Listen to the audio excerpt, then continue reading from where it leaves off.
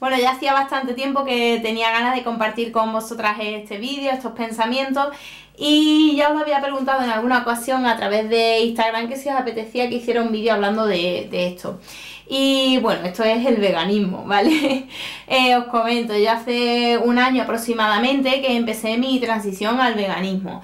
Antes de nada, lo que voy a explicaros muy resumidamente, ¿vale? Es en qué consiste el veganismo, porque mucha gente piensa que es una dieta y no es eso, ¿vale? El veganismo básicamente consiste en la práctica, es una práctica, yo digo más bien que es un estilo de vida, es una práctica que rechaza eh, consumir cualquier producto que provenga de los animales, ¿vale? No solo comida, estamos hablando de más cosas, ahora entraremos un poquito más en detalle. Eh, para mí es un estilo de vida que rechaza cualquier tipo de explotación o muerte animal y cualquier tipo de actividad, de producto, lo que sea que en su trasfondo tenga esto. Es decir, no se trata únicamente de llevar una dieta vegana, ¿vale? Que sí, obviamente, digamos, el aspecto más conocido. ¿Por qué? Porque es nuestro día a día, es algo que, llevamos, digamos, a la práctica de mañana, tarde y noche y es lo más conocido, lo entiendo. Pero hay mucho más allá. O sea, por ejemplo, una persona vegana no va, como no apoya el, tema de que tenga a los animales encerrados y más, pues no va a ir a un circo con animales, no va a ir a un zoológico, no visita acuarios, no va a ver espectáculos con delfines.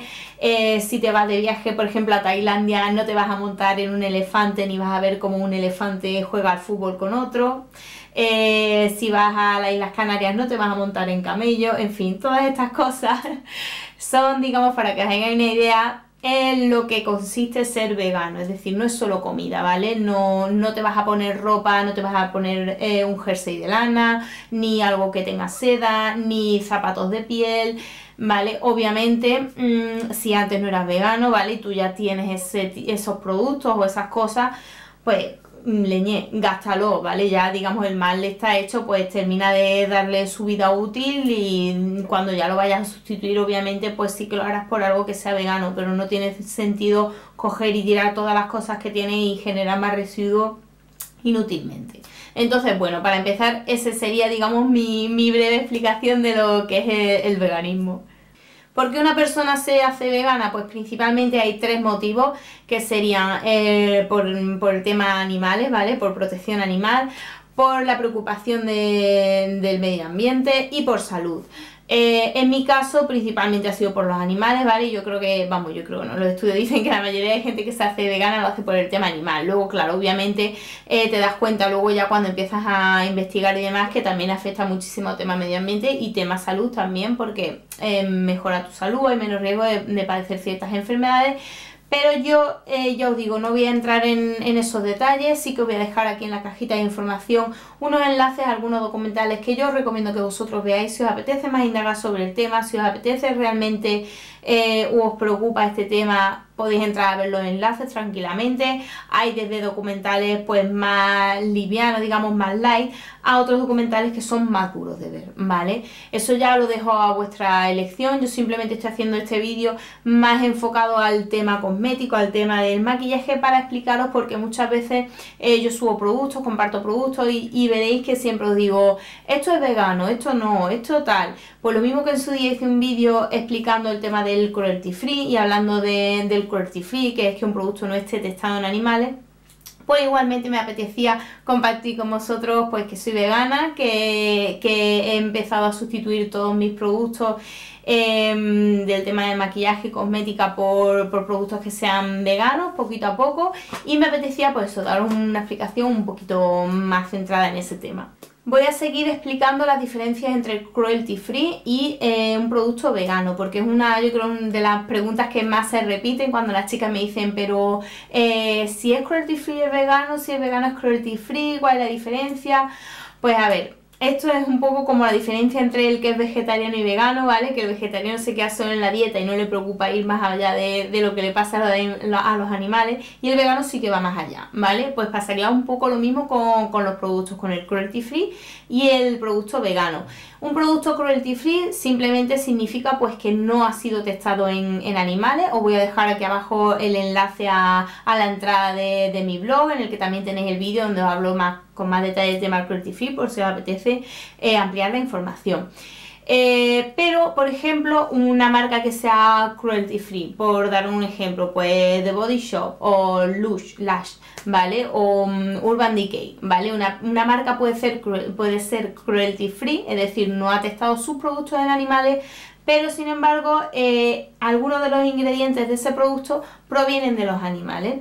Entonces, que un producto sea cruelty free no significa que sea vegano, pero que un producto sea vegano en todo caso siempre llevará implícito que el producto sea cruelty free. ¿Por qué? Porque como os he explicado, eh, el estilo de vida vegano, ¿vale? La, ética vegana te dice que detrás de eso no puede haber ningún tipo de maltrato, ni de sufrimiento animal, ni de muerte animal. Por tanto, eh, por ejemplo, últimamente que se está anunciando mucho cierta firma que dice fórmula vegana, fórmula vegana. A ver, la fórmula, la composición del producto será vegetariana pero tu producto nunca jamás va a ser vegano porque esta firma eh, vende en China y por tanto testa en animales. O sea, tu producto nunca va a ser vegano hasta que no dejes de hacer daño a los animales. ¿Vale? Tu producto será vegetariano, tu fórmula será vegetariana, pero no es vegano. Esa es la diferencia y por lo que hay tanto mosqueo en el personal.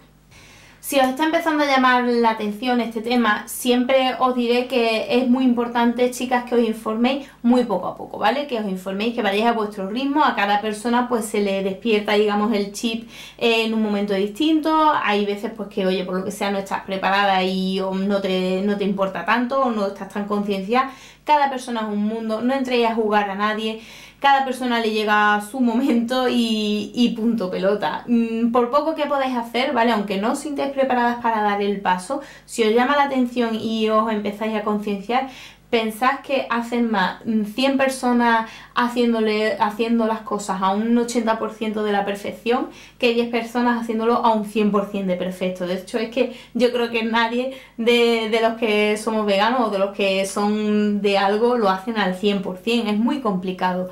Sobre todo porque tened en cuenta que nos hemos criado en un estilo de vida no, no vegano. Entonces es muy complicado. Hay veces que pues caes en la tentación, tienes que hacer sacrificios que te cuesta mucho. Entonces Siempre os digo, lo mismo que os comentaba en el cruelty free.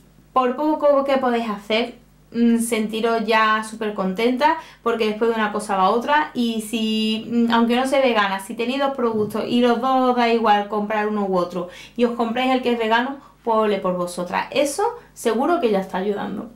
Para ir terminando, pues otra de las preguntas que me hacéis mucho es, pero ¿qué miras? ¿Tú qué lees? ¿Tú cómo sabes qué es vegano, qué no es vegano? ¿Qué, qué ingredientes son los que buscas? Eh, a ver, cuando se trata, bueno, por ejemplo, para temas de, pincelería, obviamente, pues es tan sencillo como saber si el pincel es de pelo natural o no es de pelo natural, ¿vale? Si es de pelo natural, evidentemente no es vegano porque proviene de un animal. Y lo que os comentábamos ya en alguna ocasión, dudo yo que el granjero haya estado haciéndole caricias a, la ardilla o al marta o al bisón hasta que se han ido cayendo los pelitos. Pues tal cual. Ahora, lo que es un producto en sí, por ejemplo, una base de maquillaje lo que sea, ¿cómo sé yo? Que es vegana? Pues nada, mm, normalmente suele venir en los packaging, en las cajas, ¿vale? O sea, que no tiréis corriendo a la caja. Siempre, sobre todo cuando lo vayáis a comprar, mirar en, en, la caja. Si ya tenéis el producto y no tenéis la caja, pues claro, va a ser complicado que sepáis con seguridad si eso que tenéis es vegano o no. Siempre podéis recurrir a la página web de la firma donde vendrá el listado de ingredientes, ahí lo podéis mirar, ¿vale? Pero si no, normalmente eh, o viene en la caja o en el propio producto. Y ahora, los ingredientes en sí. los ingredientes de origen animal más comunes que se suelen usar en, en cosmética, más concreto en maquillaje, ¿vale? Eh, estamos hablando de productos como cera alba, ¿vale? Que es la cera de la abeja. Eh, la miel, también me he llegado a encontrar miel, bueno, aparte de champús y todo esto, ¿vale? Recordad que me estoy centrando sobre todo en temas de maquillaje, pero bueno, en champús y todo vais a encontrar miel, historias varias. En maquillaje, pues eso, miel me la he encontrado, por ejemplo, en máscaras de pestañas, igual que la cera. En lápices de labios o de cejas también utilizan muchísimo la, la cera de la abeja. ¿Qué más cosas? Que tengo aquí las chuletillas. Vale, la, la lanolina que proviene de, las glándulas de la cabra, la oveja, bueno, vosotros de verdad informaros, es que no, quiero tampoco entrar mucho en detalle porque si no me decís, ay, yo me está dando la chapa. Yo simplemente os doy la información y vosotras decidís. Y sobre todo otro ingrediente que veo mucho, mucho, mucho es el carmín, ¿vale? El carmín veréis que viene entre paréntesis carmín y el código del carmín es CI 75.470, pero siempre pone entre paréntesis carmín, ¿vale? Eh, pone al final, puede contener o contiene carmín. O sea que mm, eso es... Mm, a ver, voy a, entrar, voy a, entrar en detalle. El carmín sostiene de las cochinillas, un pigmento natural rojo que sostiene de las cochinillas. Las cochinillas es un bichito, ese que se hace así una bolita cuando lo tocas o lo que sea, pues lo que hacen es que los aplastan y, de ahí obtienen el, el, carmín. Lo mismo pasaría con los productos que tengan caviar, que tengan proteínas de seda, todo eso viene de los animales, ¿vale? O sea que mm, serían esos los productos que, o sea, los ingredientes, perdón, que yo voy buscando siempre cuando voy mirando un producto, cuando voy mirando un labial. Pero sobre todo lo que, lo que miro principalmente es que no tenga cera y que no tenga carmín, que son de verdad los más más utilizados. En menor medida, pues lanolina, em, eh, miel y, demás que os he comentado. Bueno y básicamente esto sería todo chicas, ya veis que es un vídeo muy cortito, no he querido entrar en, detalles porque seguramente la gran mayoría de las que veáis este vídeo em, sería como demasiada información, yo dejo por aquí abajo los enlaces si os llama la atención o de verdad si tenéis alguna pregunta me la podéis hacer porque yo siempre estoy encantada de, poder daros explicaciones sobre el tema del, veganismo, de resolver vuestras dudas, ¿vale? Para mí esto es un, tipo de activismo. Mucha gente me dice, pero ¿por qué dices siempre tantas veces que es vegano, no es vegano? Bueno, para mí de verdad hay una cosa que es el activismo de redes y si yo nunca doy esa información, nunca lo vais a saber, seguramente, igual que con el cruelty free, ¿vale? Cuando yo hice aquella entrada en el blog hace ya seis años, yo era la rara que hablaba de cruelty free, nadie sabía lo que era el cruelty free, muchísima gente no tenía ni idea de que los productos se testaban en animales. Y lo mismo ahora, yo, yo siempre digo, digo, es que ser la primera es muy complicado. ser la primera es, eh, vamos, la, valiente aquí de, de turno, porque al final te expones a muchos comentarios, eh, los típicos comentarios, como yo digo, de cuñado, de que, si es que esto se ha hecho toda la vida, que es que si no sé qué, de verdad, todas esas cosas, el que le apetezca decirlo, omitirlo, porque es que mm, directamente ni me apetece leerlo ni lo voy a dejar en el muro porque es que lo voy a borrar. El que tenga curiosidad sana y de verdad quiera saber más o, no entienda algo, yo se lo, se lo explicaré con todo el respeto del mundo.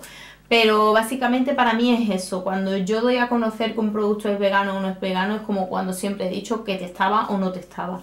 Estoy dando a conocerlo, ya está en ti pues que te interese o no te interese, pero a lo mejor si de 100 personas que ven un story mío en Instagram, eh, aunque sea una, dice, coña, pero es que yo no sabía que se utilizaba, por ejemplo, el carmín para... O sea, yo no sabía que estrujaban cochinillas para el labial rojo este que yo he utilizado. Pues yo no quiero, habiendo otros que, que no llevan este componente porque no me lo voy a comprar. Pues yo con eso, mm, simplemente yo, mm, mi fin, digamos, mi activismo de redes consiste en daros la información, en que la tengáis, simplemente en, que seáis conscientes de lo que hay detrás.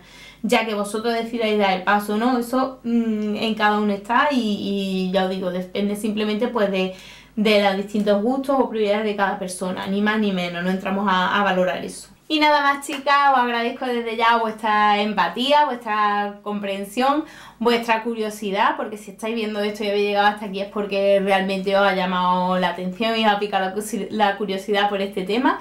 Espero que el vídeo os haya resultado útil. Si tenéis más dudas me las podéis dejar en comentarios o echar un vistacito a los enlaces de los documentales que, os voy a dejar por aquí. Os lo voy a ordenar desde más light hasta un poquito más stronger, ¿vale? Para que podáis filtrar un poquito y si estáis preparadas pues vayáis, digamos, aumentando.